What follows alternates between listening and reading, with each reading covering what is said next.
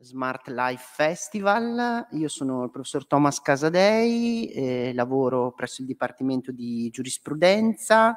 Insieme ad alcuni colleghi e colleghe abbiamo istituito eh, qualche anno fa, nel 2016, un centro di ricerca interdipartimentale sulle discriminazioni e le vulnerabilità che tiene in dialogo ricercatori e ricercatrici dei dipartimenti di economia, giurisprudenza e ingegneria. Eh, il direttore del centro il professor Gianfrancesco Zanetti, fanno parte di gruppi di lavoro che animano discussioni anche sulle questioni digitali, eh, la collega Tinda Raddabbo, la collega Claudia Canali che ascolteremo uh, tra poco, uh, Simone Scagliarini e potrei continuare eh, perché l'idea è di lavorare insieme su questioni, su dilemmi, su problemi e in particolare per il contesto che eh, ospita questa nostra conversazione, lavorare anche su ciò che spesso non è messo a tema, eh, le forme di esclusione, le forme di diseguaglianza, le questioni della povertà educativa, eh, il divario, forse meglio dire oggi, i divari digitali. E abbiamo pensato anche per portare un contributo come Ateneo a, a questa importante manifestazione di eh, presentare alcune progettualità, alcune iniziative, alcune sperimentazioni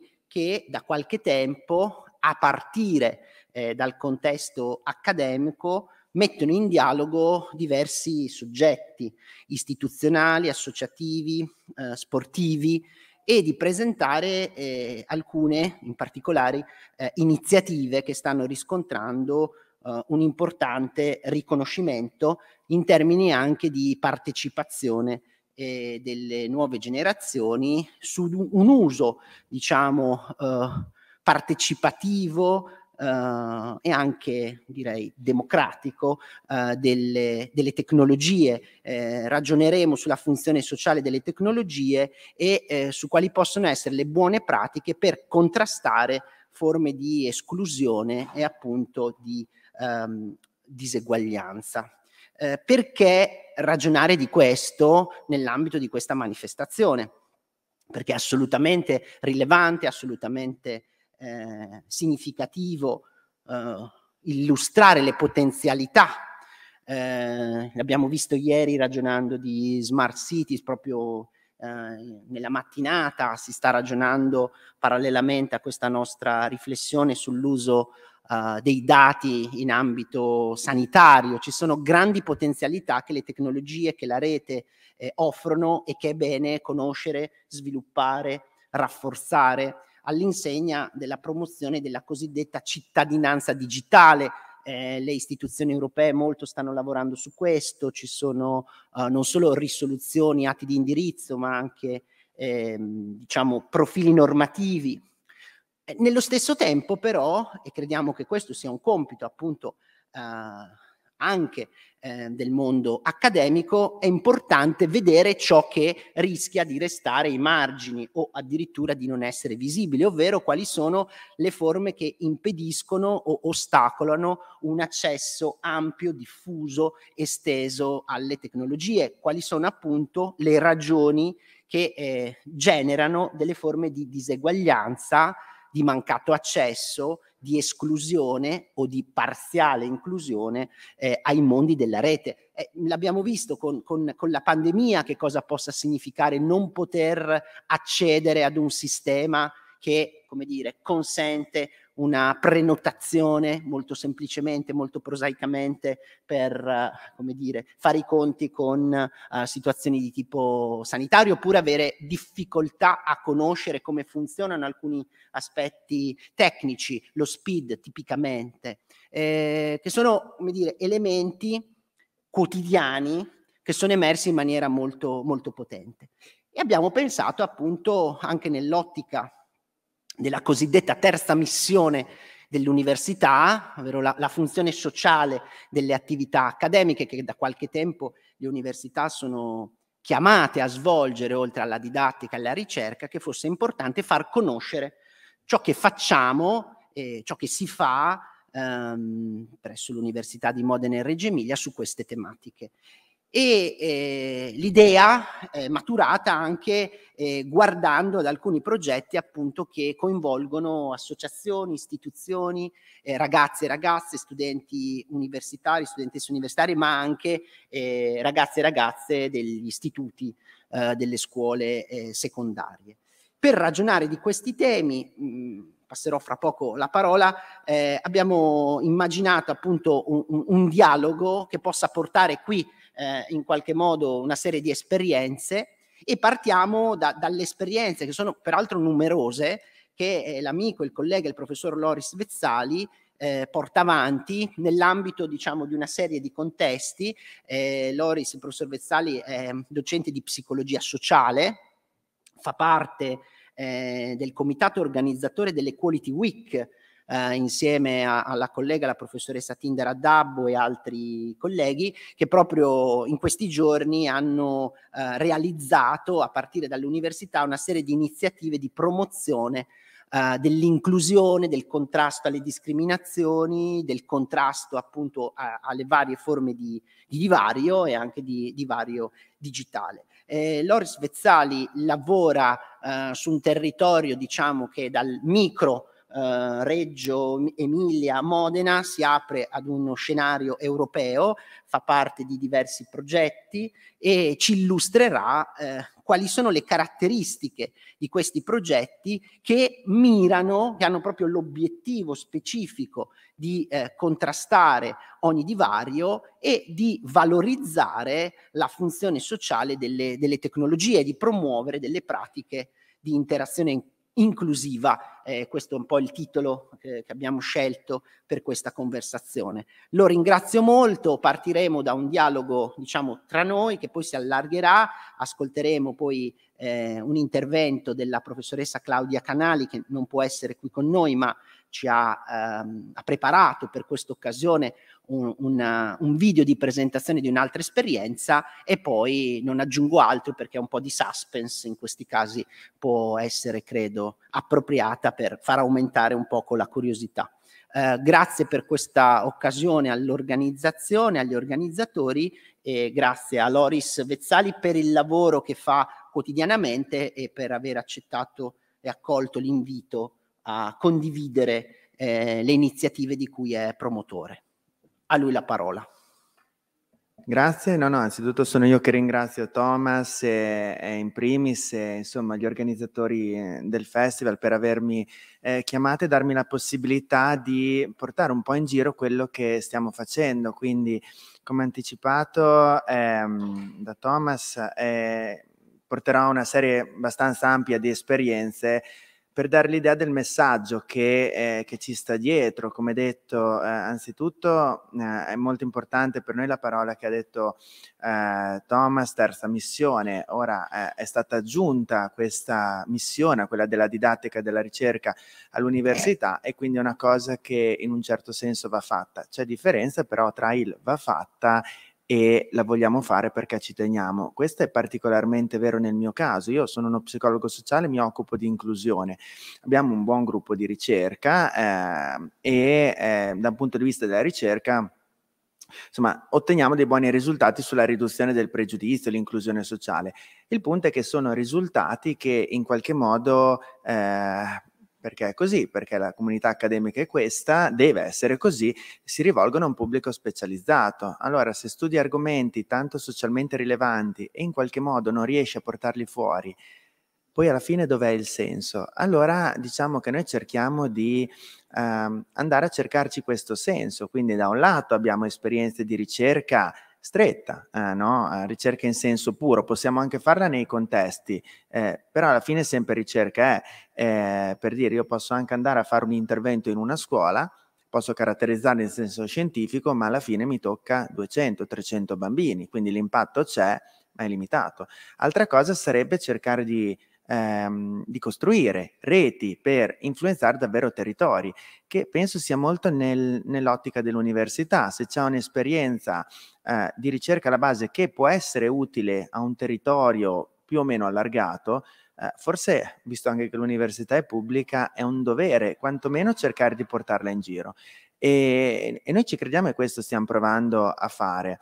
Eh, problema, diciamo, della psicologia sociale e di quel che faccio io è che tocca un sacco di cose e quindi noi dobbiamo dividerci tra un sacco di cose perché più o meno la psicologia sociale si rivolge più o meno a tutto. E allora mh, diciamo che tra questi progetti, reti che portiamo avanti, c'è un ventaglio abbastanza ampio dal eh, contrastare la radicalizzazione intesa come azioni antisociali, contrastare le baby gang, ehm, eh, contrastare la violenza di genere, che è un altro tema ancora, agire sul bullismo promuovendo una risposta forte sul bullismo. Sto pensando mentre ve lo dico ai vari progetti che toccano tutte queste tematiche, su ognuno di questi abbiamo eh, dei progetti attivi in questo momento, eh, al promuovere l'uguaglianza di genere a livello istituzionale, ad esempio nelle associazioni sportive, eh, contrastare in maniera efficace l'abbandono scolastico eh, in, in, modo possibilmente da andare a, eh, a cogliere percentuali significative di abbandono scolastico e nei contesti dove c'è più bisogno. Uh, più altri che adesso verranno in mente parlando. E, ehm, ora, su questa costruzione di reti, quindi il, il punto mh, per noi difficile, eh, è la cosa difficile, più che fare il progetto in sé progetto in sé lo fai, il punto è riuscire ad arrivare a costruire la rete che ti permette poi di avere influenza sulla gente effettivamente. Eh, ecco, uh, uno di questi per, es- per esempio è, è, e noi siamo veramente molto felici di questa opportunità che ci ha dato la città di Reggio Emilia, eh, è, è, un lavoro con la prefettura. Ora sempre più parlare ehm, Ehm, del disagio giovanile, delle baby gang, che è diventata una parola molto nota, e, eh, e la prefettura ha voluto formare un tavolo eh, a Reggio Emilia, quindi già non è scontato che una città riconosca esplicitamente che c'è un problema a quel livello perché ovviamente se tu vuoi contrastarlo prima devi formalmente riconoscerlo.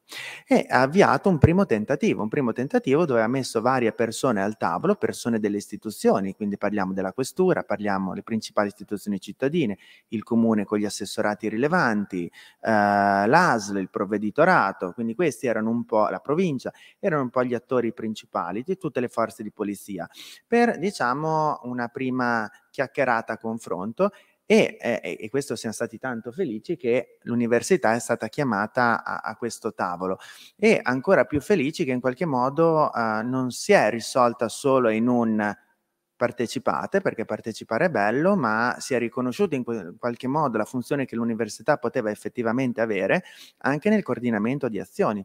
Allora da lì è partito, diciamo, uh, primo qualche azione così um, isolata. Poi alla fine, nel giro di un annetto, si è consolidato, quest'anno, inizio anno, abbiamo firmato un, un vero tavolo eh, formale istituzionale per, eh, per, il contrasto al disagio giovanile con un focus specifico sulle baby gang, che include praticamente tutte le forze di polizia del territorio, le scuole, eh, il comune e così via. Um, perché è stato importante una formalizzazione, al di là del fatto che c'è una convenzione bello di per sé? Eh, è stato importante perché quello che succede ad esempio nell'ambito del, del, disagio sociale giovanile è che più o meno chi è che se ne occupa degli attori che ho detto prima? Tutti solo che lo fanno in maniera diversa. La polizia fa il suo mestiere, il comune fa il suo mestiere, l'ASL fa il suo mestiere e sono tutti interventi scordinati. Fra l'altro, su chi sono questi interventi? Eh, perché uno dice sui ragazzini che, stiamo parlando di disagio giovanile, danno in qualche modo dei problemi, ma andando nello specifico, li conosciamo sti ragazzini? Sì e no, perché... Scusami, su questo per, per intervenire, vai, vai.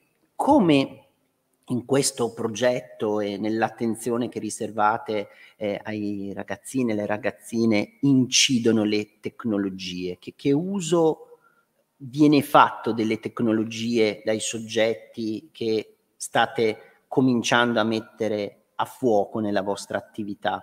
Perché questo penso sia un punto, quando si parla di baby gang, l'utilizzo di video che propongono immagini di violenza, discorsi d'odio, forme di discriminazione basate diciamo su, sull'origine, hanno come dire, un potenziale molto forte che non è un, come dire, riconducibile ad una esclusione dalla rete, vedremo dopo alcune di queste forme, ma c'è un uso della rete, delle tecnologie, dei dispositivi digitali eh, distorto, non appropriato o addirittura cattivo. No? Quando discutiamo di questi temi con alcuni colleghi e colleghe abbiamo introdotto questa, questa espressione, a nostro avviso, diciamo, eh, pertinente, di, di lama. Cioè la, la, la, rete può essere una lama, può, può ferire, può portare come dire, a casi eh, di, di, di, contrasto, di conflitto, di scontro, ma anche alle forme più estreme di violenza, può incitare all'odio. E, e questo anche nel caso delle cosiddette eh, baby gang, che è un'espressione che personalmente non, non, non condivido perché rischia di, dire, di, semplificare un po' le questioni, però ormai è quella in uso e la mettiamo tra virgolette e ne discutiamo. Ecco, se vuoi condividere un, un po' quella che è la, la vostra, la tua lettura Uh, di questo aspetto, perché questo è un aspetto nuovo. Ci sono sempre stati gli scontri tra bande giovanili, la, la violenza come risposta al disagio, all'esclusione, eh, a forme di povertà eh, estrema che generano una reazione eh, violenta. Come le tecnologie si inseriscono in queste dinamiche è un fenomeno che abbiamo scoperto piuttosto di recente. No, no, assolutamente, è un aspetto assolutamente centrale. Ora, ricollegandomi a quel che dicevo, diciamo che la formalizzazione ha consentito, diciamo, di mettere a sistema le attività. Quindi, ad esempio, l'attività che la polizia fa sul controllo delle chat e di tutto rientra in questo. Cosa ha consentito alla fine? Faccio um, eh, faccio per sommi capi, a identificare un gruppo preciso di persone. Sono quei 40-50 che erano diversi tra i vari autori, sono stati definiti, quindi di base adesso e con le tecnologie e l'analisi della rete e il fatto di avere in qualche modo creato il tavolo vuol dire che tutti possiamo in qualche modo a quel tavolo avere accesso non magari a tutte le informazioni, ma a un insieme di informazioni, ci ha permesso di creare delle mappe che diventano anche digitali, che vanno tra le istituzioni, nel senso che poi sono, ogni istituzione gestisce quello che è più di sua competenza, ma identificare un gruppo di persone che in qualche modo sono coinvolte e di andare nel dettaglio a capire ognuna di queste chi sono queste persone e cosa fanno, ad esempio nell'accesso alla rete, nei luoghi di ritrovo, nei gruppi a cui partecipano, perché con questa analisi anche digitale puoi capire per dire se un ragazzo è in un gruppo, è in due gruppi, in qualche modo è coinvolto. Quindi di base, uno, vai a definire il campione, eh, di intervento e vai a definire esattamente come, perché te lo vai a conoscere eh, nel dettaglio. E l'aspetto della rete in tutto questo è centrale, uno per l'analisi di, che la polizia fa su queste chat, che è molto efficace e consente di mantenere aggiornata, diciamo, la mappa del, chiamiamolo così, eh, del disagio. Due, perché, come giustamente ehm, diceva Thomas, la faccenda è cambiata. Le, le, le baby gang, eh, che è un termine inappropriato, perché in realtà sarebbe, eh, definirebbe un gruppo formalizzato e questi non sono gruppi formalizzati, almeno ci ha aiutato eh, nell'uso rozzo del termine a, a, a, delimitare un problema per le istituzioni generali. Uh, mentre una volta, diciamo, questi gruppi um, entravano in contrasto, insomma tutti noi abbiamo eh, più o meno esperienza, eh, adesso invece eh, il punto centrale è la rete. Andiamo verso un insieme di persone, e qua torna il digitale a più livelli, che ehm, sono persone che vengono, per la nostra analisi, nel dettaglio, da famiglie problematiche, da contesti svantaggiati. Sono dei ragazzi che o non vanno a scuola, non credono in sé, non pensano di avere un futuro e gli è sempre stato detto così dagli adulti rilevanti eh, sia delle istituzioni dove sono stati, sia da parte dei loro genitori. Quindi il punto non è andare a curare il sintomo solo, cioè l'aspetto della legalità, ma in qualche modo dargli una, un futuro, un futuro a cui prima di lo, tutto loro devono credere. Quindi questo è un po' il gioco. E cosa c'entrano i social? Cercano di prendersi la rivincita in qualche modo. Mentre prima la violenza era in qualche modo l'esito di un conflitto, adesso è il punto di partenza questi non si vedono un futuro, non si vedono domani, quindi in qualche modo cercano un qualche modo di distinzione e di distinzione positiva. La violenza non è più, diciamo, la conseguenza, è, quella, è la cosa da esibire, è la cosa che ti dà identità. Queste culture giovanili che, voi, che stanno venendo fuori identificano la violenza come il loro tratto distintivo. Una volta, te, per dire, tu fai una rapina, l'ultima cosa che vuoi fare è andare a farti vedere. Questi la mettono in rete cioè, è la prima cosa che fanno, vanno a fare la rapina per metterla in rete e farsi dare i like. E uno dice, saranno matti perché nel senso si scoprono, ma allora andiamo a vedere i like, andiamo a vedere il supporto. E ai ragazzi questa cosa piace. Quindi alla fine il vero problema è che questa cosa è condivisa da un'ampia parte dei giovani. Loro cercano un riscontro sociale nei social e lo trovano. Io ho avuto un caso, sarà qualche giorno, di uno di questi ragazzi in una scuola, è arrivato in una scuola, in una classe eh, delle superiori e sono venuta a sapere eh, che è l'idolo, diciamo, eh, della classe eh, per questi trascorsi e questa visibilità sui social negativa, diremmo noi. Il problema è che loro direbbero positiva. Questa è un po' la chiave. E allora, questi, questo è un po' un, ruolo dei social del digitale nel creare questi gruppi, nel senso che diventa non l'aspetto di lato, diventa l'aspetto centrale della loro visibilità e del loro, tra virgolette, riscatto. Noi stiamo usando il digitale in tutte queste azioni anche su questo. Siamo un'università, lavoriamo molto sull'aspetto formativo, ad esempio sui corsi. Allora ci siamo detti, lavoriamo sui docenti e andiamo a costruire dei percorsi di formazione che in qualche modo vanno, vadano a andare a toccare gli aspetti che ho detto. Uno, l'aspetto della legalità e della giustizia, ovvio, stiamo parlando di, di, queste tematiche, ma due, anche una costruzione, un percorso che vada più in là, dal credere in sé, a riconoscere se hai dei talenti cosa puoi fare, insomma dargli una prospettiva, in modo che questi ragazzi capiscano che possono fare qualcosa, perché al momento non ci credono, e in qualche modo la mettano in pratica.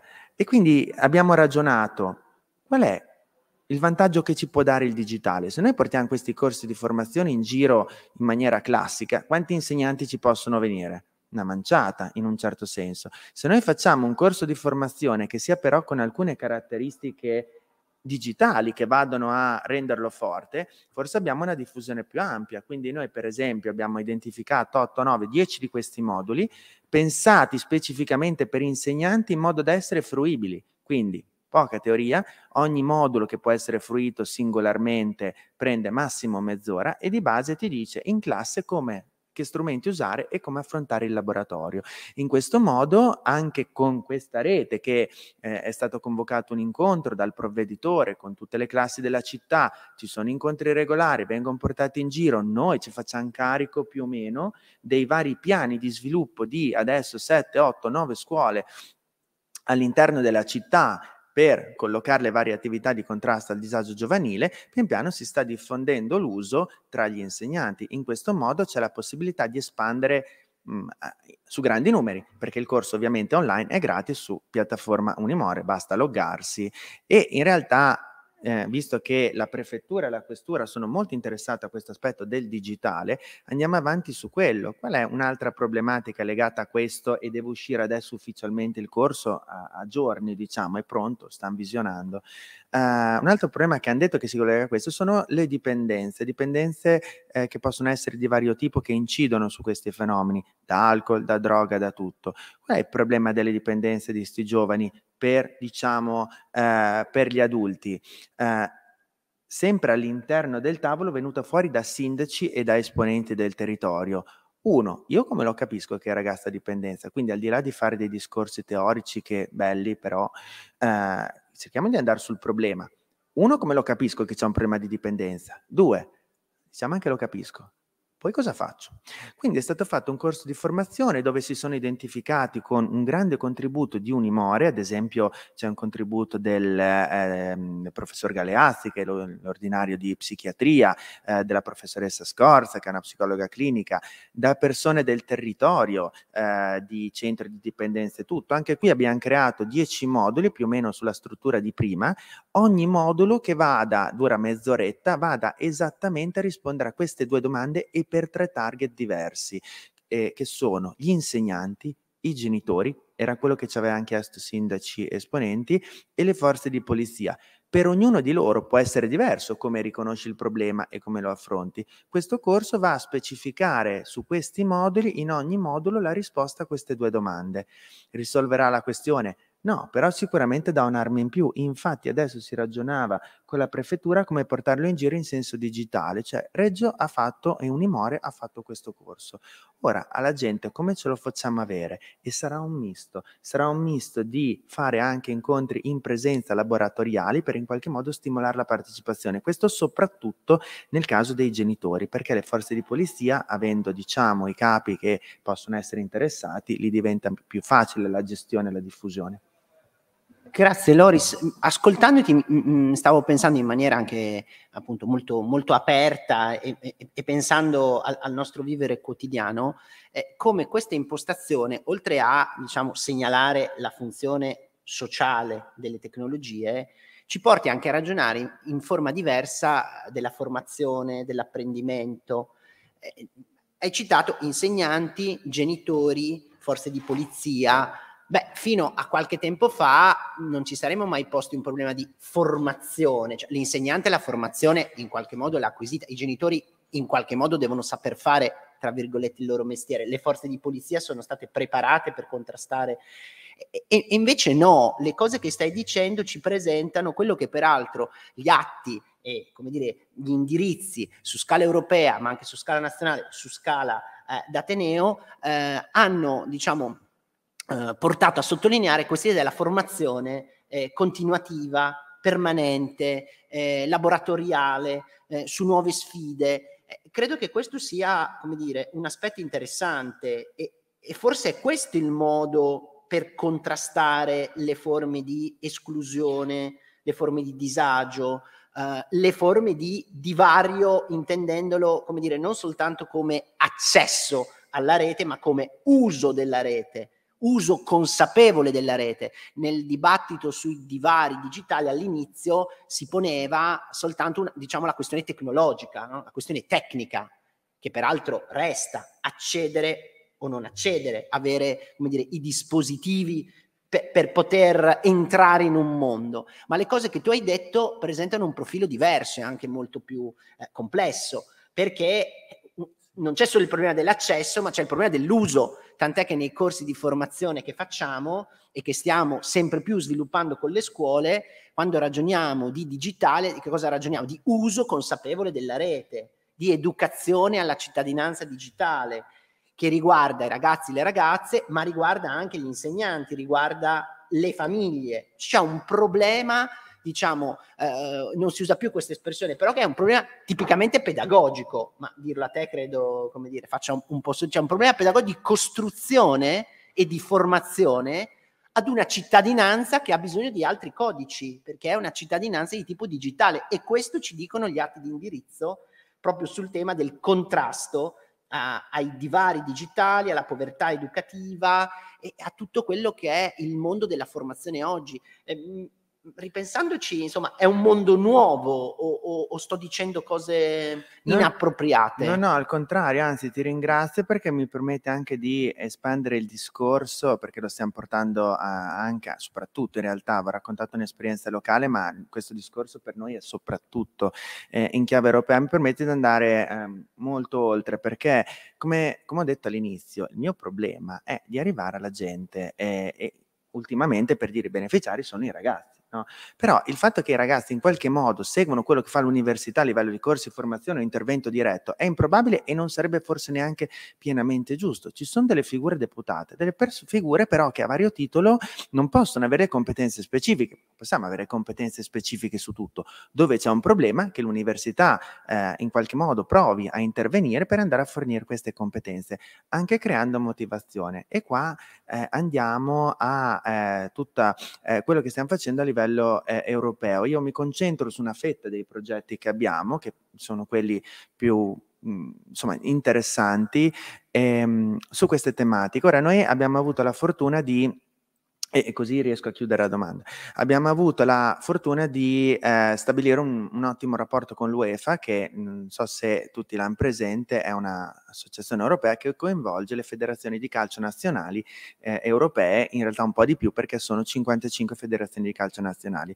La UEFA per motivi etici e, e, e un, magari uno dice la UEFA è una grandissima organizzazione monetaria, fa miliardi, in realtà io parlando con le persone, ci sono i dipartimenti, c'è veramente un interesse fortissimo a rendere il calcio utile, E allora insieme abbiamo avuto la possibilità di strutturare una risposta sulle tematiche sociali eh, in termini di progettualità europea. Dunque di base cosa eh, fa Unimore? Eh, insieme si decidono le tematiche da affrontare, che sono quelle che ho detto prima, eh, le federazioni da coinvolgere. Unimore finora ha guidato, non che ha solo partecipato, ha guidato eh, in questi progetti 18 federazioni di calcio nazionali, includendo grosse federazioni dalla Romania alla Francia, no, alla Francia no, scusate, alla Spagna, al Portogallo, all'Irlanda.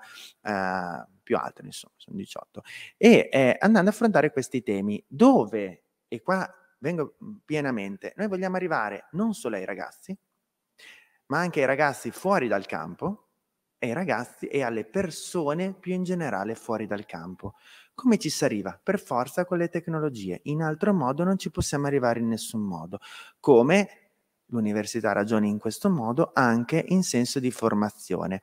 Ora, qual è per noi la figura che può arrivare ai ragazzi, no? È l'allenatore che in questo modo, e abbiamo attenzione, abbiamo avuto anche delle resistenze in tal senso, ehm, ehm, in qualche modo diventa la nostra figura di collegamento. L'allenatore di una squadra di calcio cosa fa? Allena i ragazzi. I ragazzi possono fidarsi, entrare in comunione con l'allenatore. Sì, certo, sono gli allenatori più empatici, quelli meno, quelli più d'aiuto.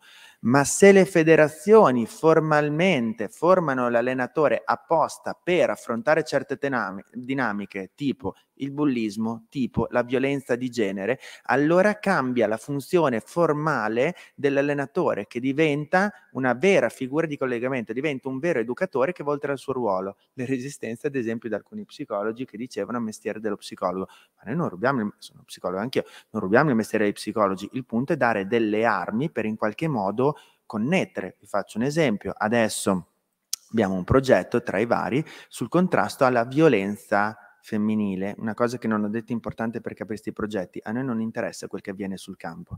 Ci sono delle problematiche sociali tipo la violenza fe- eh, contro le femmine, noi vogliamo nella società, fuori, noi vogliamo che il calcio aiuti fuori, non sul campo. Sul campo è ovvio, vorrei anche vedere. Il punto è andare a aiutare fuori. Quindi, per dire in questo progetto, eh, le ragazze giocatrici che giocano a calcio vengono in qualche modo, tramite l'allenatore, portate, formate, uno, a riconoscere quando c'è violenza di genere, perché il problema grosso è che molto spesso non ne sono consapevoli. Due, ora che lo so, come affronti il problema da un punto di vista di supporto psicologico, perché non può fare l'allenatore, e da un punto di vista formale legale. Quindi si tratta di, vedete, portare il calcio come aiuto alla società in generale. Quindi in questo modo, da un punto di vista digitale, uno, eh, faremo, eh, focalizziamo sulla figura dell'allenatore creando dei corsi di formazione che in qualche modo trasformino la sua figura. Ma il punto importante nostro difficile da fare è che non devi solo andare a formare una persona, perché poi tu puoi anche fare il corso, ma il problema pratico qual è? Ci vuole qualcuno che se lo guardi, ok? Quindi, e qua rientra l'attività di rete. Tipo, nel caso di prima, se non ci fossero prefettura, questura e comune che in qualche modo spingono all'adozione del corso nelle scuole, è un bel da fare il corso, ci deve arrivare e anche qui c'è un lavoro di rete importantissimo. Nel caso del calcio, si agisce a più livelli. Uno, c'è un sostegno istituzionale della UEFA e delle federazioni di calcio per fare questi corsi perché rientrano all'interno di questi progetti che hanno anche le federazioni di calcio. Due, come vengono diffusi questi corsi? Uno, adesso, cominciamo adesso in realtà a diffonderlo anche in questa maniera, tramite i canali social delle federazioni, quindi a un livello di disseminazione per la gente, due, a un livello istituzionale formale. Sono le federazioni, noi pretendiamo come Unimore che in qualche modo, se noi facciamo all'interno di un progetto approvato dall'Unione Europea una formazione per un allenatore digitale secondo le dinamiche che abbiamo detto prima, le federazioni si impegnano a renderla obbligatoria o semi-obbligatoria nei programmi dei patentini, diciamo, che gli allenatori devono prendere nei vari paesi, perché in questo modo tu prendi una federazione di calcio nazionale, ha immediato effetto su migliaia di allenatori e di rimando su decine di migliaia di ragazzi. Questo per noi è impatto che quindi viene da aver trasformato una figura che è quella dell'allenatore in senso diverso e in qualche modo trovare le chiavi per formarla e due fare in modo che in effetti si vada a fare i corsi e li rende in qualche modo eh, fruibili. E per dire una prova che stiamo facendo adesso in un corso, in un progetto dove c'è anche la nostra FGC, è stata, sempre in chiave digitale, sfruttare un'app. Avevamo fatto un primo progetto con un corso contro la radicalizzazione dei giovani, dove con, una, con, un, con, un, corso online in qualche modo formavamo gli allenatori, gli dicevamo le attività da fare, quindi attività psicologiche sul campo. Vi ricordate prima abbiamo parlato dei laboratori nelle scuole, l'esigenza di crescere come ragazzi e tutto nelle proprie credenze. Le stesse cose, solo che in questo caso le abbiamo fatte con attività psicologiche sul campo, gliele facciamo non in classe a lezione, ma facendoli giocare ovviamente con qualche trucchetto psicologico. No? E eh, con la FGC si è visto che per interessare di più gli allenatori, perché è vero che li puoi anche dire, però se li interessa di più tanto meglio. Abbiamo creato un'app che in qualche modo eh, penso ehm, sia la, l'app della, che usano per la nazionale adattata eh, agli allenatori e da un lato si è messo un percorso, forma, eh, un percorso di strutturazione dell'allenamento secondo caratteristiche de- degli alti livelli della FGC perché così anche allenatori di squadre amatoriali e tutto sono motivati a usare un'app che in qualche modo viene usata anche dalla nazionale. Due, all'interno di questo gli si è data la possibilità di strutturare il proprio percorso su quello che dicevamo prima, sulla crescita personale del ragazzo su più aree, non vi annoio su queste, così che tramite l'app gli allenatori possono strutturare il percorso e monitorare in ogni momento. Stiamo adesso studiando come estendere una fruizione dell'app anche ai ragazzi, perché in questo modo anche il loro coinvolgimento viene facilitato. Quindi c'è una penetrazione sempre più forte, avete capito, del digitale con l'obiettivo di arrivare su numeri che sono sempre più grandi e, e, e ci possiamo arrivare solo in maniera digitale in modalità mista. L'ultima modalità è quella che eh, discutevamo eh, prima, di in qualche modo andare a portare queste tematiche tramite i social di importanti eh, associazioni come sono appunto federazioni di calcio che hanno milioni di follower. Ehm, eh, eh, e, portare i nostri messaggi tramite appunto questi contenuti. Però è una modalità diversa da prima, perché mentre eh, sono due modalità che devono essere complementari. Tramite social messaggi, una strategia che è necessariamente comunicativa, creiamo consapevolezza, motivazione e voglia. Tramite una diffusione invece di contenuti digitali che sono formativi, andiamo in qualche modo a chiudere il cerchio e provare a fornire le competenze. Questo sono i nostri sogni, ci stiamo provando e più o meno stiamo andando avanti e maturando esperienza. Mi pare davvero che questo lavoro sul campo, è, è, il caso di dirlo, sia straordinariamente promettente, anche perché ascoltandoti immaginavo appunto il potenziale a partire dallo sport che nel nostro paese è quello più diffuso, ma se le buone pratiche funzionano, poi la loro possibilità di essere estesa ad altri ambiti eh, può diventare qualcosa di molto concreto. Allora da questo sport che è quello più praticato ma assolutamente non l'unico si potrebbe allargare ad altri sport, ad altre realtà. E questa è una dimensione fondamentale delle nuove generazioni ma non solo delle nuove generazioni, di tutti noi, cioè la, la, la pervasività della pratica sportiva eh, lette in questa chiave mi pare davvero, davvero molto interessante anche come dire, una dimostrazione di come non esista più quella distinzione tra la dimensione virtuale, le tecnologie e l'attività di vita eh, reale, come si diceva un tempo, a partire dalle intuizioni di Rodottano, viviamo in una mixed reality, in una realtà che è sempre mista, e allora attraverso le tecnologie possiamo fare cose straordinarie, ma anche a partire dal campo e attraverso l'uso della rete possiamo generare percorsi, progetti di formazione che poi mutano i comportamenti, perché tutte le cose che tu dicevi, ma l'esempio della violenza maschile contro le donne era molto concreto, hanno un impatto appunto formativo nel ridurre, nel contrastare le pratiche di violenza, di odio, di sopraffazione, di discriminazione. Guarda, porta farti una chiosa di un minuto proprio perché hai colto il punto perfettamente. Io adesso ho parlato di squadre di calcio, ma sempre questi stessi progetti, i medesimi, eh, sono stati usati per allargare il campo, diciamo, quindi si sono formate figure in Irlanda operatori di strada è stato fatto con i ragazzi di strada, in uh, Lituania, Federazione Lituana, eh, con eh, i gestori di orfanotrofi e da noi stiamo adattando con le scuole di Reggio, quelle di cui parlavo prima, interessate anche tramite l'app, eh, per trasformare queste attività che si porteranno nelle scuole di Reggio, nel nostro piccolo, insomma, allargandole a tutte le sport, perché poi il percorso calcistico è facile da allargare agli altri sport, è, è simbolico.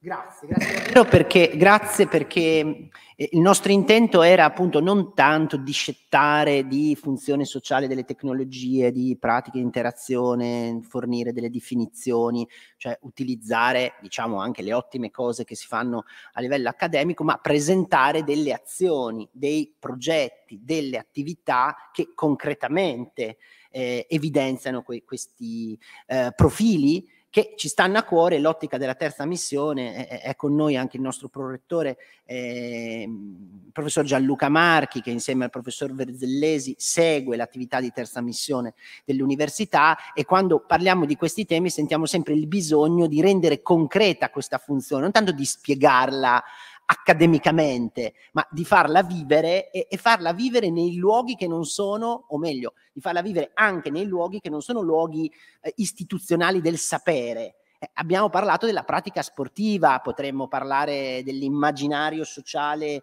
eh, costruito da, dal sistema dei media, po- potremmo, come dire, aggiungere vari livelli che però implicano un bisogno di formazione e di costruzione della cittadinanza digitale.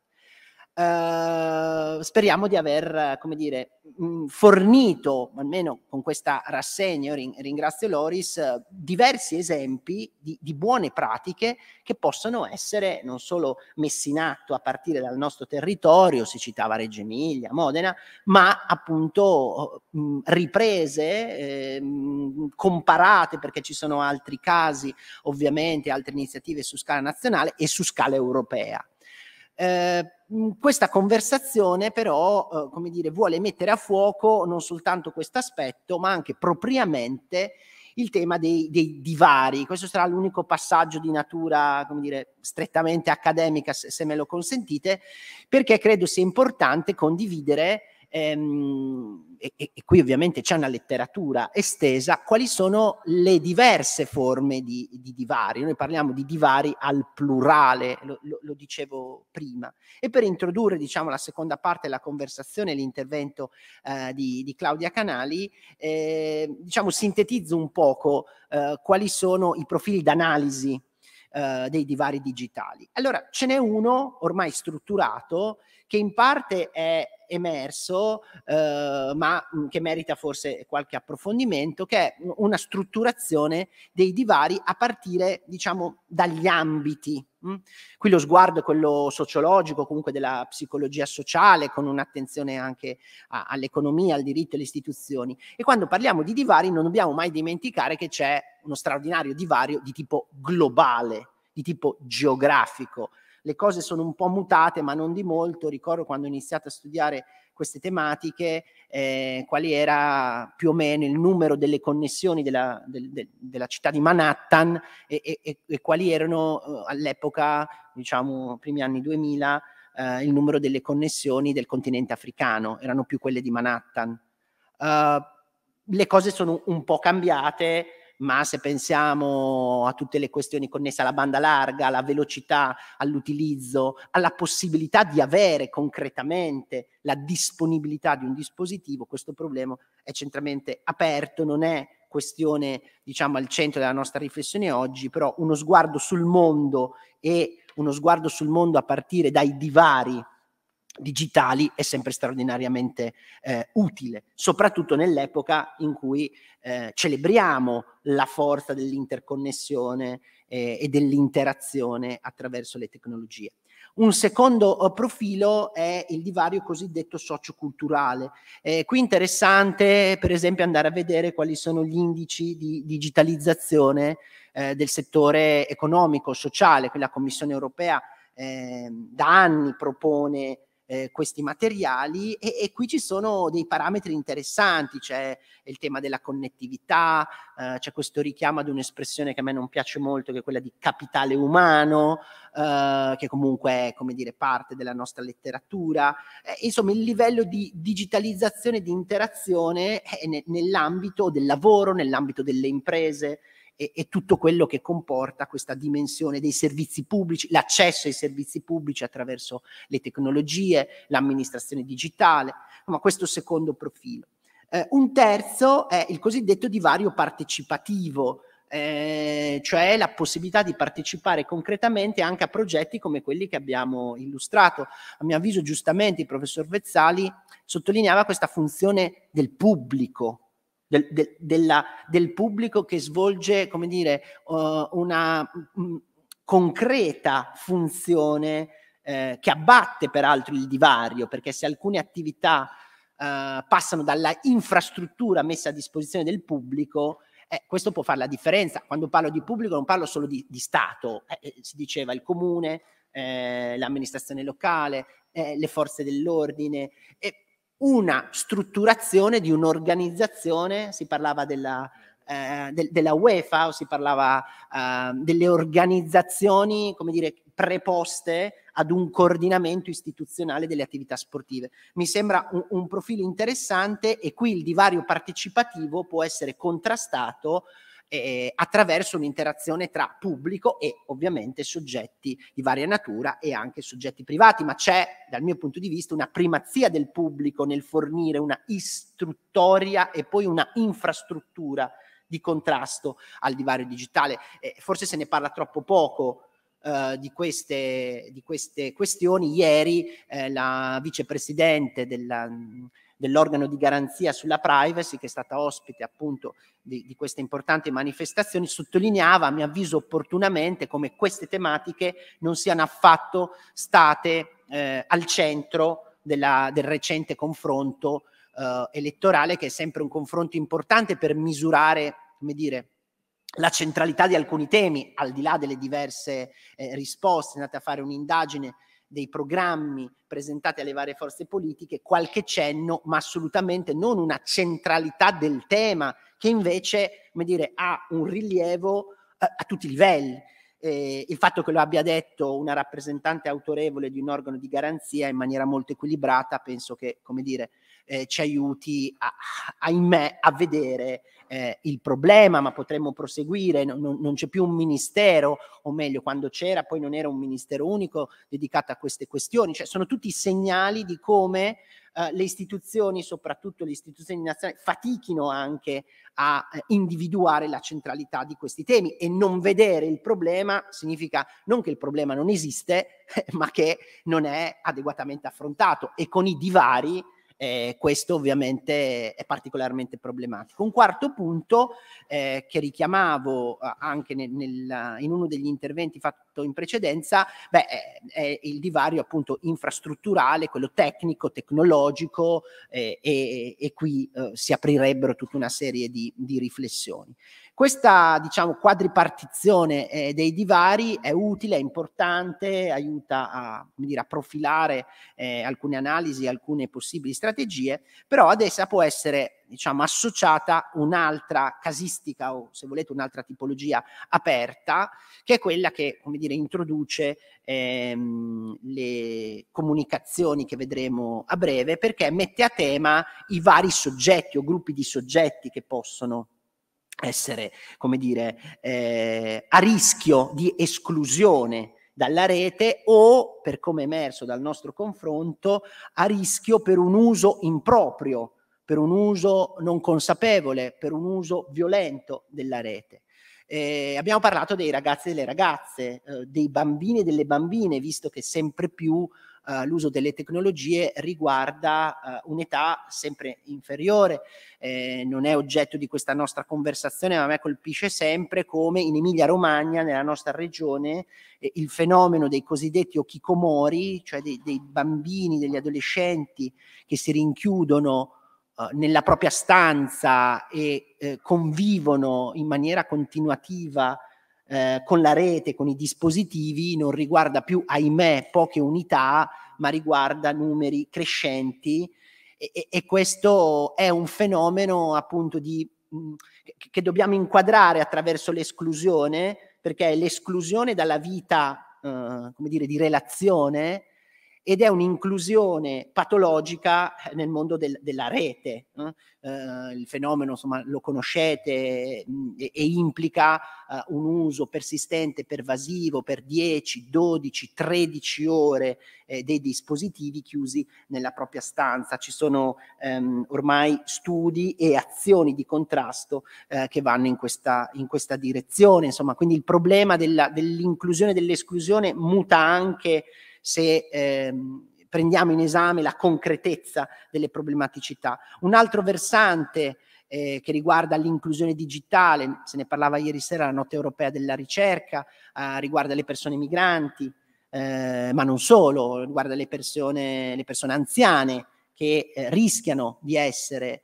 eh, come dire, eh, marginalizzate o escluse dall'uso della rete potremmo proseguire, però il caso diciamo, che, che, che affrontiamo eh, attraverso appunto la presentazione di un progetto è anche eh, l'esclusione, il rischio di esclusione, la marginalità, un, un, difficile accesso e un difficile utilizzo della rete, delle potenzialità della rete da parte delle soggettività eh, femminili, da parte eh, delle, delle, ragazze. il divario digitale di genere è forse quello sul quale l'Unione Europea ha più lavorato in questi anni in termini diciamo, di inquadramento e anche di eh, indicazione di strategie.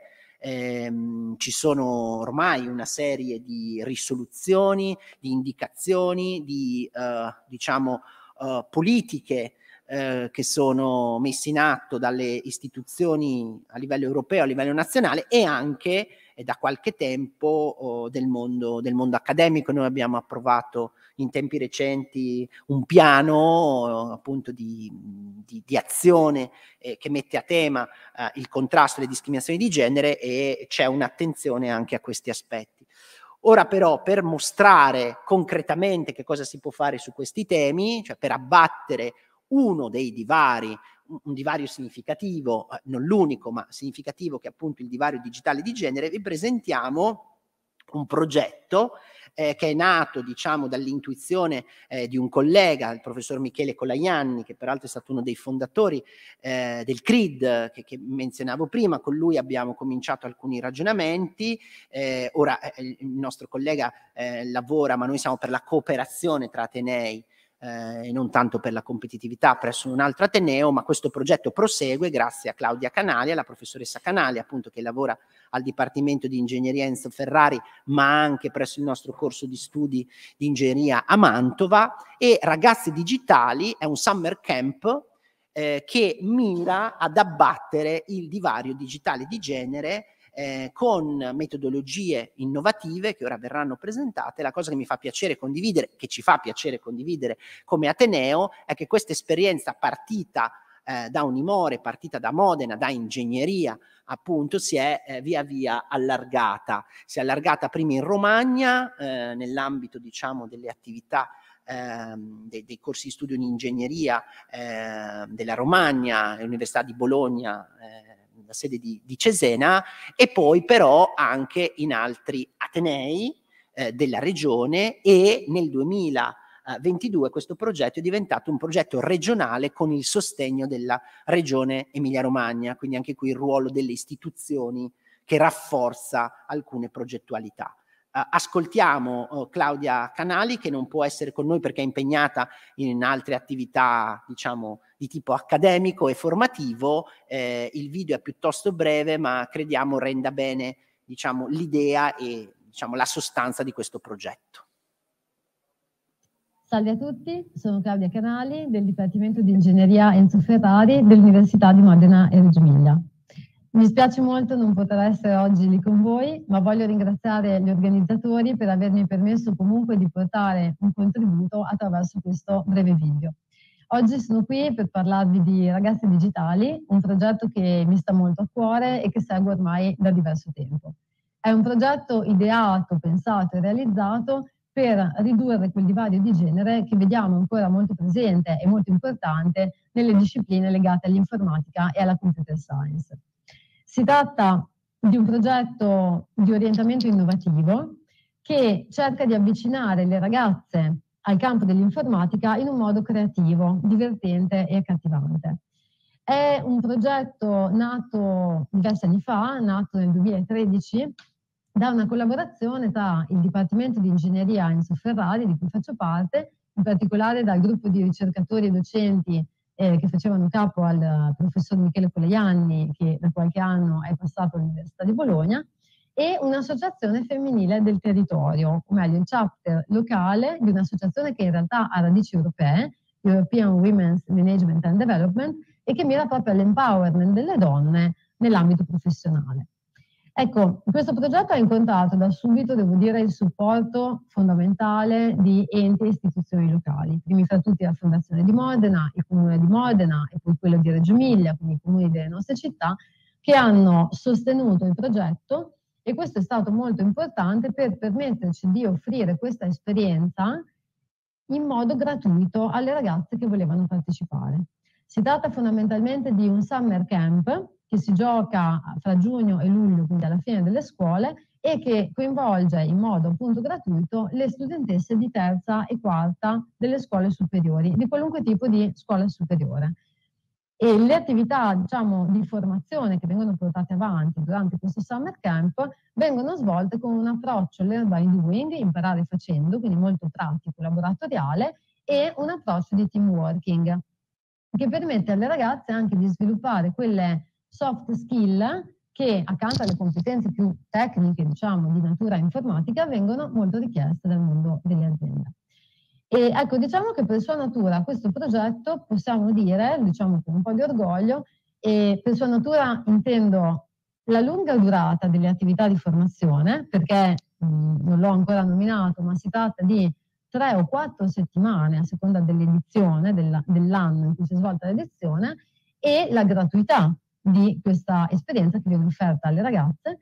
Ecco, come vi dicevo, per sua natura, per queste caratteristiche, è un'esperienza che possiamo definire unica, senz'altro in Italia, ma per quanto ci siamo guardati intorno e abbiamo avuto modo di capire, anche in Europa e nel mondo.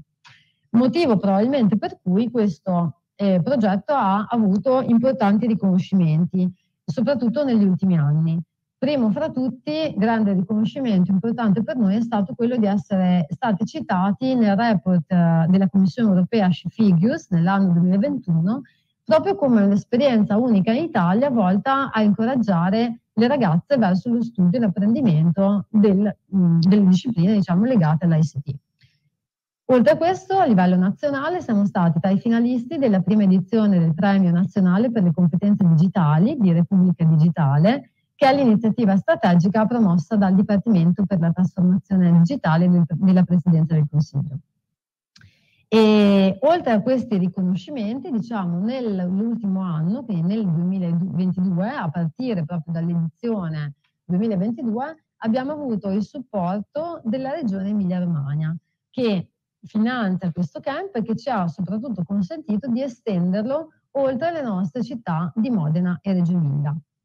Contate che a Modena il Summer Camp viene portato avanti dal 2014, quella fu la prima edizione. Dal 2018 eravamo riusciti ad estendere il Summer Camp anche a Reggio Emilia e alla città di Cesena, coinvolgendo alcuni colleghi dell'Università di Bologna.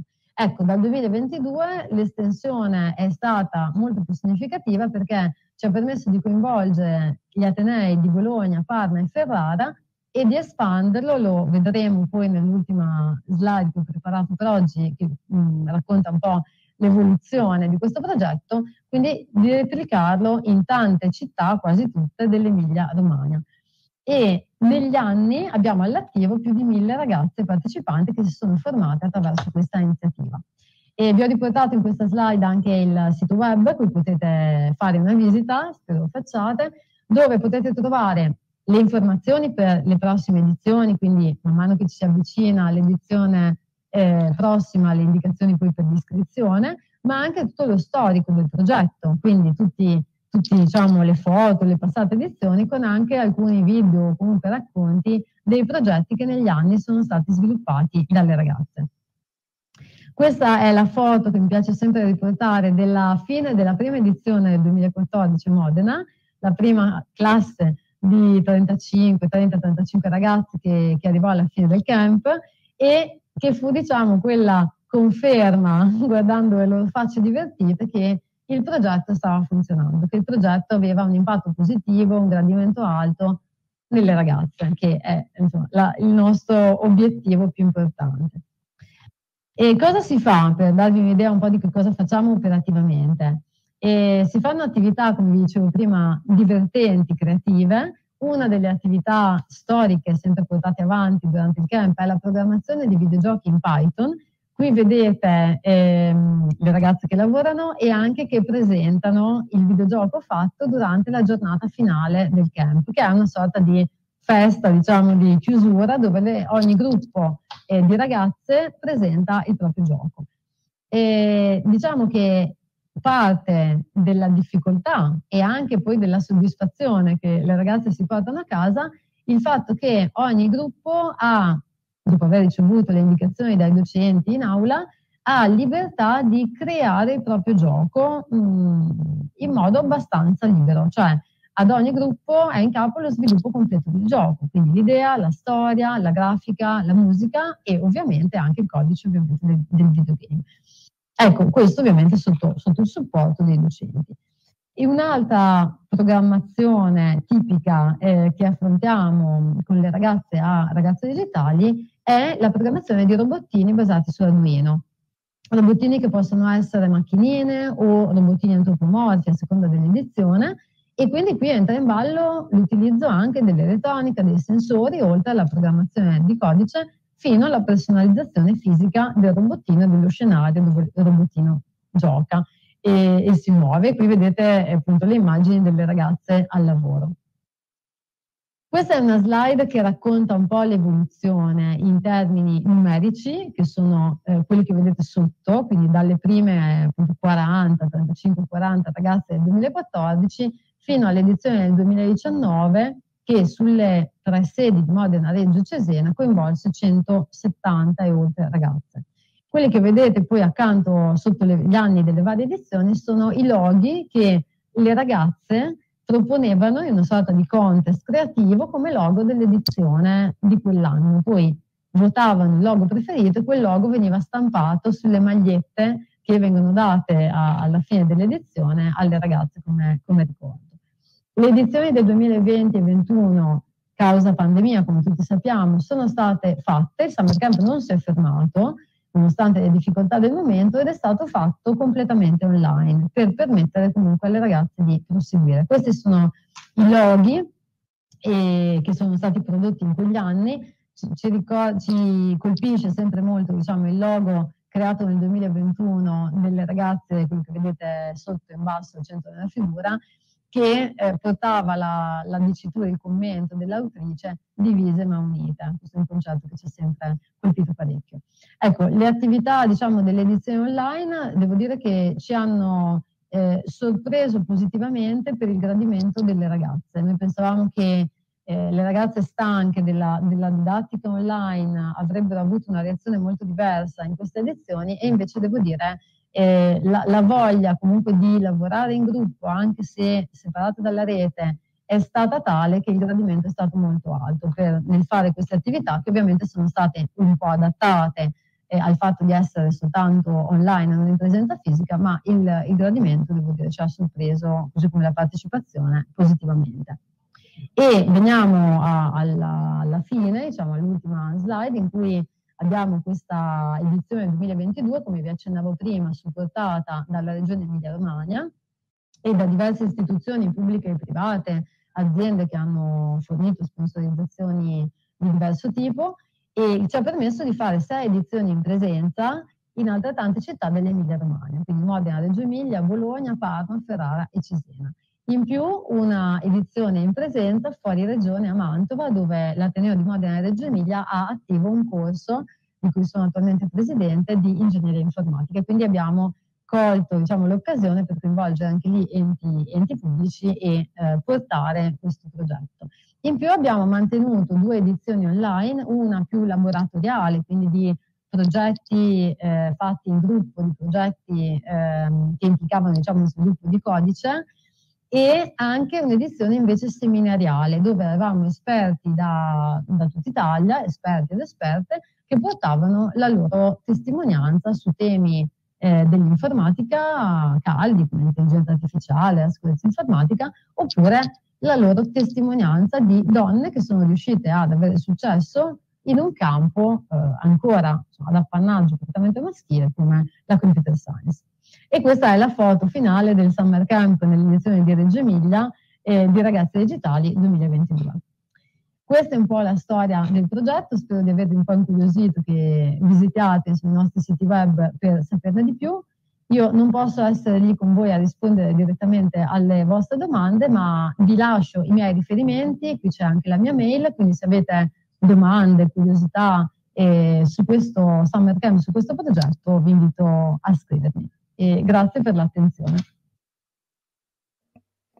Abbiamo ascoltato anche la professoressa Canali, e, insomma, attraverso appunto le potenzialità eh, delle tecnologie e anche in maniera molto sintetica abbiamo visto l'evoluzione di questo progetto e come questo progetto si sia esteso e come possa ulteriormente estendersi. C'è una progressione, una progressione come per i progetti che ci presentava Loris Vezzali eh, che con il supporto un allargamento della rete e il supporto anche delle istituzioni, abbiamo visto anche in questi casi, può consentire che alcune esperienze, alcuni progetti sperimentali si estendano, si consolidino, si allarghino. Questa è ancora un'esperienza unica a livello eh, nazionale ed europeo, ma ovviamente, eh, come avviene per le buone pratiche, speriamo che a breve non sia più l'unica, ma altre eh, riprendendo questa ispirazione si realizzino. Oltre a Claudia Canali ascoltiamo anche due brevissime testimonianze di due ragazze che hanno partecipato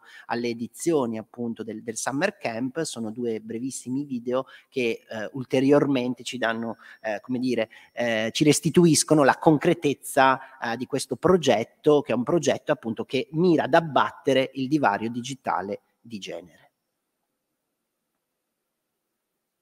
Ciao ragazze, mi è stato chiesto di raccontarvi la mia esperienza con ragazze digitali. Forse voi penserete che si decida di fare un corso di coding perché si è già appassionati all'informatica. Io invece ci sono arrivata per una pura casualità. Ero iscritta al quarto anno del liceo classico e mi è capitato di sentir parlare di un corso estivo per sole ragazze. Incuriosita mi sono iscritta e ho incominciato a seguire le lezioni e fare le prime esercitazioni. Sono entrata per la prima volta in un'aula universitaria e anche se era giugno, le lezioni erano così divertenti che il tempo è volato. Gli insegnanti e i tutor sono stati molto bravi e davvero tanto pazienti. Quando poi abbiamo formato i piccoli gruppi per realizzare un proprio progetto di videogioco, è stato bello poterci scambiare le idee e sperimentare con il codice, la grafica e la creazione di mini- minigiochi. Volete sapere in poche parole com'è stata per me questa esperienza? Beh, innanzitutto nuova rispetto alla scuola che frequentavo. Divertente perché ho fatto tante nuove amicizie e abbiamo realizzato il videogioco che vedete. Interessante, tanto che ho deciso di studiare informatica all'università. L'esperienza di ragazze digitali in realtà per me non è ancora finita. Infatti, come tirocinio, mi occuperò di sviluppare una piccola parte del nuovo portale di ragazze digitali. Se tra qualche anno vi diranno che l'informatica è solo per ragazzi che studiano materie scientifiche, iscrivetevi a Ragazze Digitali e non perdetevi questa bellissima esperienza. Un, un, primo contributo anche con un carattere diciamo promozionale ma se, se vogliamo rafforzare la funzione sociale e tecnologie dobbiamo fare anche buona promozione c'è un secondo contributo che ascoltiamo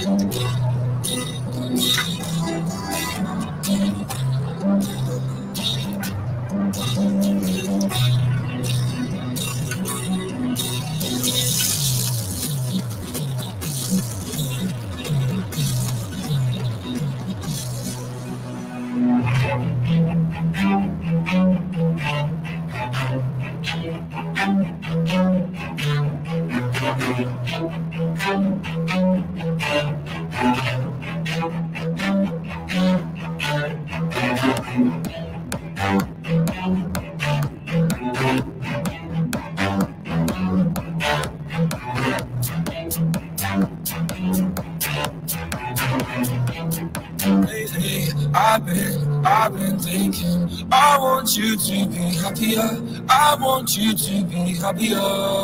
When the morning comes, we'll see what we've become. In the cold light of day, we're a flame in the wind of the fire that we begun. Every argument, every word we can't take back. Cause with all that has happened, I think that we both know the way that the story ends. Then only for a minute, I want to change my mind. Just don't feel right. I wanna raise your spirits. I want to see you smile. No, that means I'll have to leave.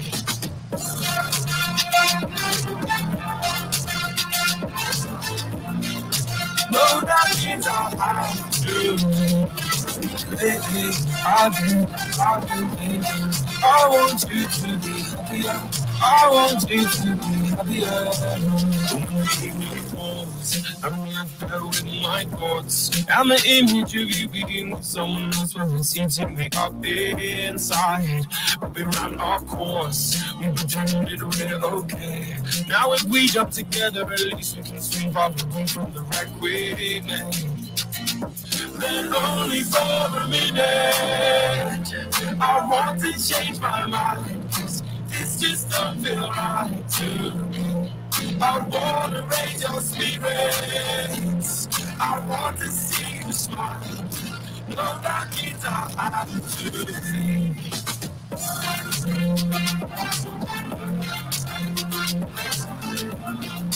No, that means I have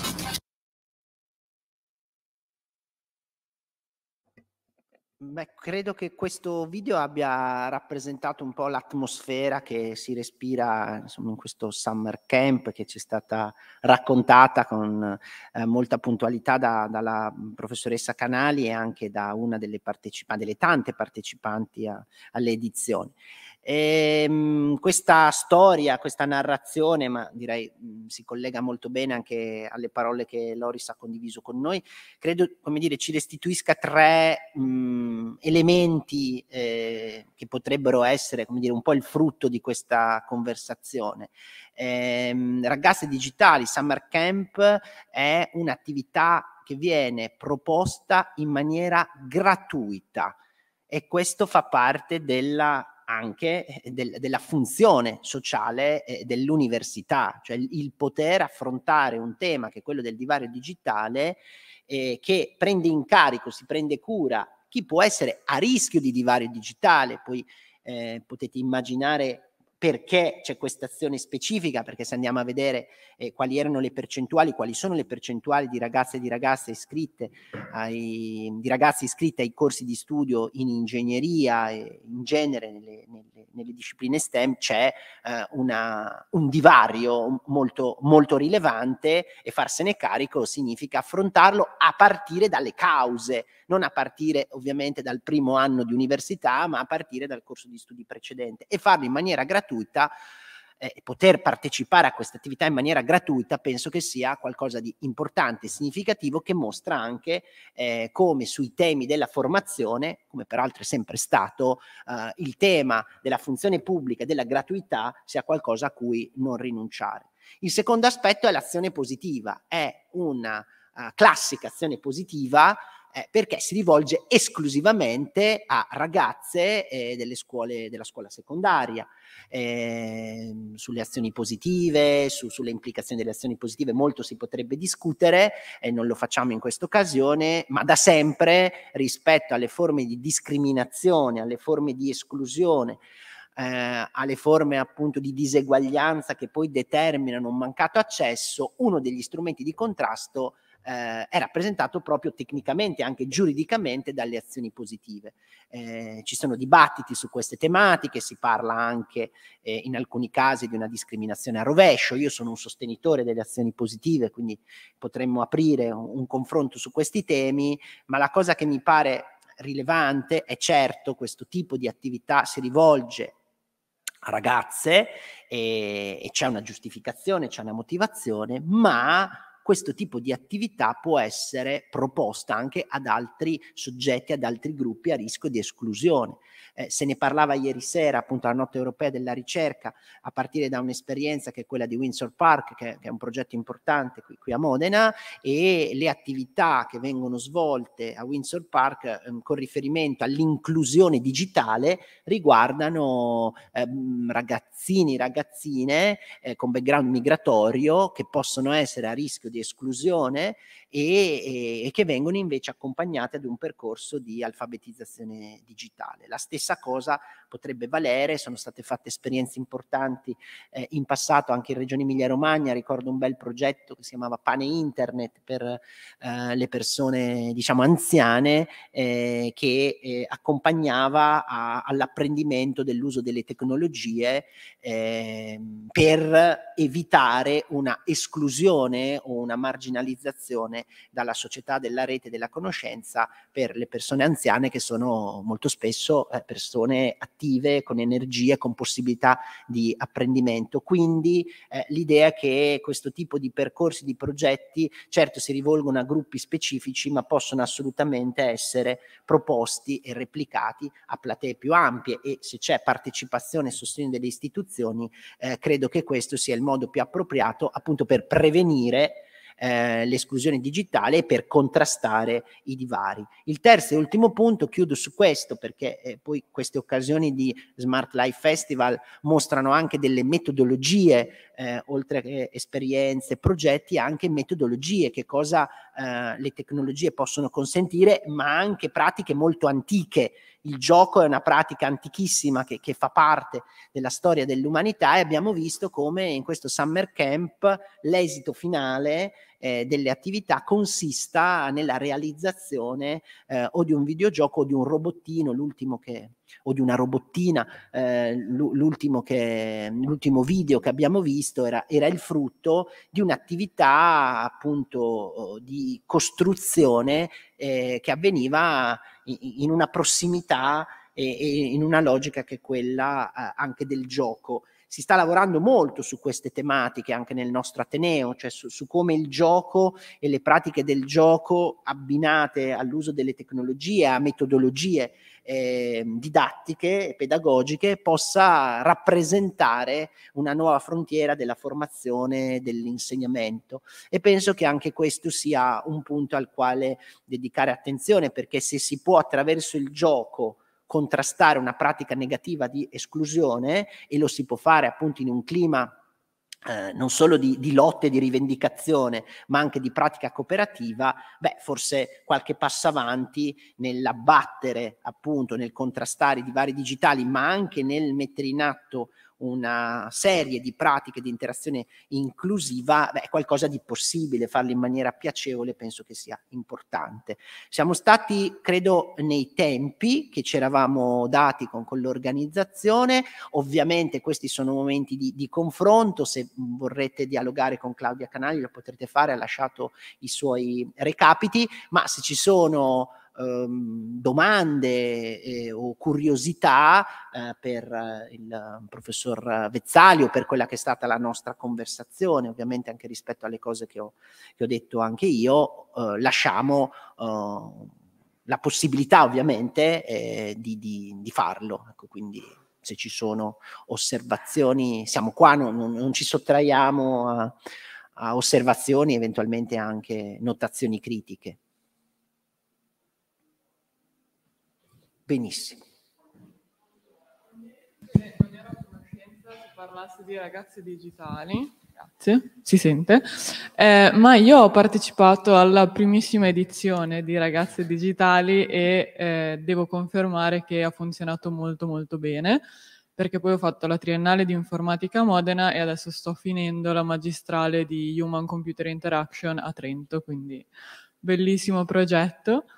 E um, volevo chiedere informazioni su come eravate riusciti ad identificare i partecipanti, tra virgolette, alle baby gang a Reggio, perché ero molto curiosa su come si riesce a identificare in un gruppo così esteso eh, appunto chi può far parte di questo tipo di, tra virgolette, movimento. Beh, diciamo che eh, l'azione è, è degli organi preposti. Il punto è che la polizia eh, ovviamente identifica quelli che sono autori di reati o cose analoghe, quindi ha una mappa della situazione derivante anche dal, dall'osservazione insomma, di quelli che sono le chat del, del chat del mondo online.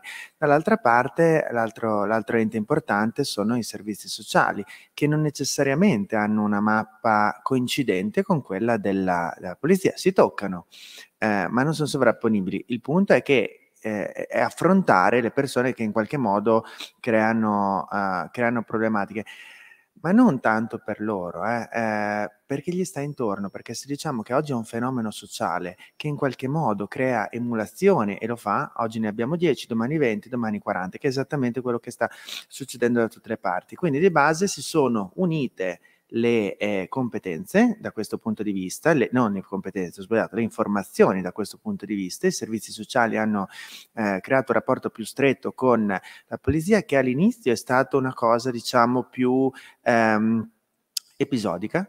E adesso invece, visto che è importante andare verso questa, um, questa aggiornamento, anche col contributo di Memoria che insomma ha giocato un ruolo in questo, eh, si va verso una mappa aggiornata, quindi sistematicamente c'è un, sia un scambio di informazioni, sia momenti frequenti di confronto per non solo andare a vedere le persone in questo momento, problematiche sono queste, ma anche per capire esattamente chi sono, perché è fondamentale capire chi sono e lo devi fare mettendo insieme le varie persone che hanno informazioni su di loro, perché per dire, faccio un esempio, se in un gruppo ci sono 10 ragazzi, ok? E adesso la banalizzo per, però per capire, il capetto è uno, ok? Se tu tocchi anche gli elementi 8, 9, 10, il gruppo resta. Se tu tocchi il capetto, in qualche modo eh, la cosa va a diminuire, però devi capire perché ognuno di loro fa un'azione di questo tipo. Quindi lo fai per visibilità, lo fai perché è un tipo di problematica familiare, lo fai per cosa? Perché ovviamente se tu riesci a identificare perché ognuno di queste persone lo fa, hai più margine di identificare l'azione correttiva, tipo ne siamo anche andati a vedere ogni, ogni ragazzo, ogni ragazza eh, cosa gli piace fare, perché in questo modo parallelamente, cercando di ottenerlo così, in modo da strutturare per ognuno un percorso e questo viene necessariamente da un confronto che è veramente fattivo, cioè parlo di una cosa fattiva tra polizia, servizi, comune e università. Questo, spero di aver risposto.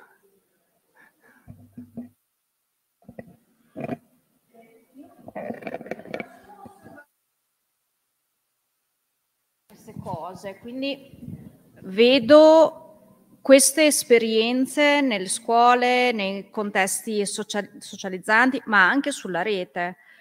Un'osservazione che mi permetto di fare, ma in termini costruttivi ci mancherebbe, è quella dell'attenzione che vedo sempre forse un po' bassa al media e al mh, sistema comunicativo che viene utilizzato, cioè quello che è il contenuto del messaggio è sempre molto curato, c'è sempre una grande attenzione sociologica, psicologica, pedagogica, ma quando il messaggio che le istituzioni portano ai ragazzi cade sulla ehm, capacità di penetrazione sull'utenza, perché la, il messaggio è prodotto da adulti il messaggio è prodotto da canali comunicativi che spesso sono vecchi. Allora mi permettevo di di dirlo, ma penso che ovviamente lo sappiate già, eh, questo preoccupa perché tutto lo sforzo che viene fatto dall'università, dalle istituzioni, dalle associazioni, dagli educatori che lavorano nei contesti spesso si vanifica perché il media diventa, trovate, noioso, vecchio, fatti da boomer, come dicono i ragazzi, e rischia di perdersi, di non arrivare. Eh, immagino che stiate già pensando e lavorando su queste cose, ma mi promettevo di, di portarlo perché è una riflessione ehm, davvero che rischia di, di buttare all'aria gran parte del, della fatica grandissima che si sta facendo in questo momento di lavorare sulle tecnologie. Se si, si lavora con la testa degli adulti si fa davvero eh, un buco nell'acqua e non si arriva ai ragazzi. Grazie per l'attenzione.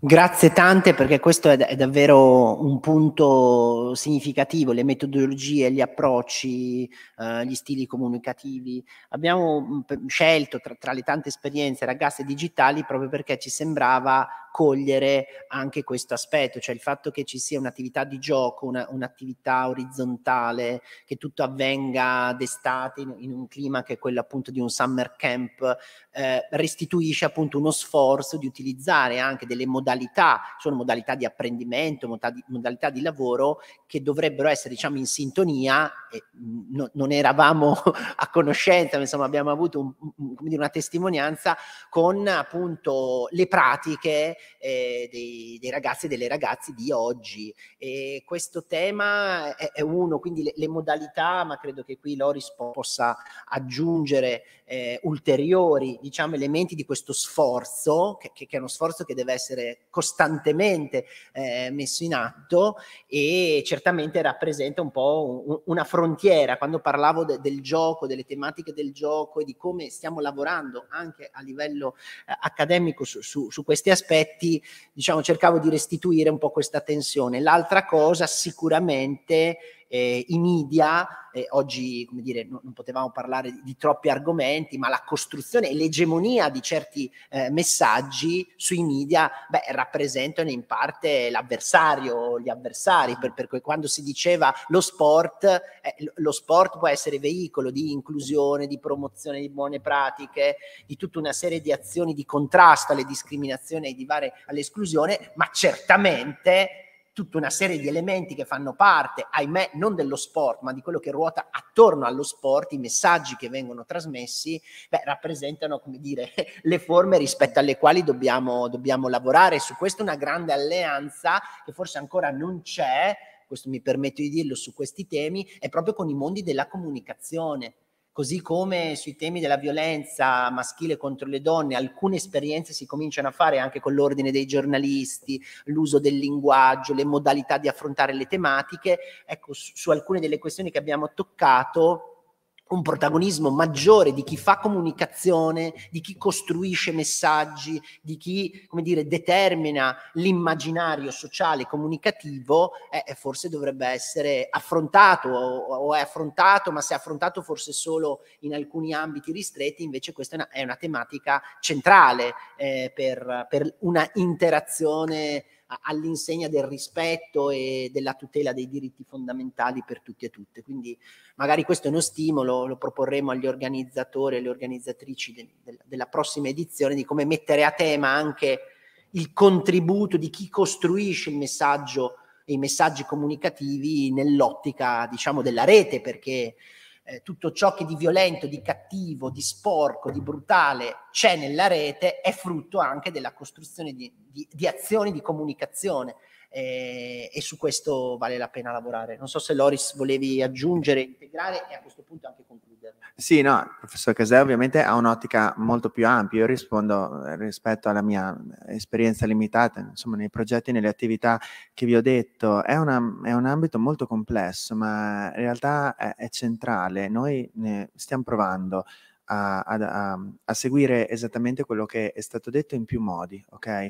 Eh, portando i giovani a partecipare. Quindi uno, stiamo cercando di portare lo sport dentro le scuole, lo sport fatto da role model, quindi prendere delle società, ad esempio la Reggiana, che hanno dei pari età che però sono visti in qualche modo e stiamo lavorando molto, abbiamo sempre più eventi che fanno questo. Quindi ad esempio ieri... Eh, ieri per esempio eh, c'è stato un evento a Reggio Emilia nella piazza centrale dove la polizia, la festa della polizia presentava esperienze sulla legalità, in piazza abbiamo portato sia i ragazzi delle scuole sia i ragazzini eh, dello sport che interagivano direttamente con le altre scuole e con ehm, e con la cittadinanza. Quindi da un lato stiamo cercando di rendere a livello di eventi e cercare di capire se riusciamo sopra questa a creare un'architettura più strutturata. Al momento siamo su eh, una serie di eventi che portano direttamente ragazzi che però siano ragazzi in qualche modo rappresentativi di qualcosa per gli altri, cioè che, che possono creare in qualche modo emulazione.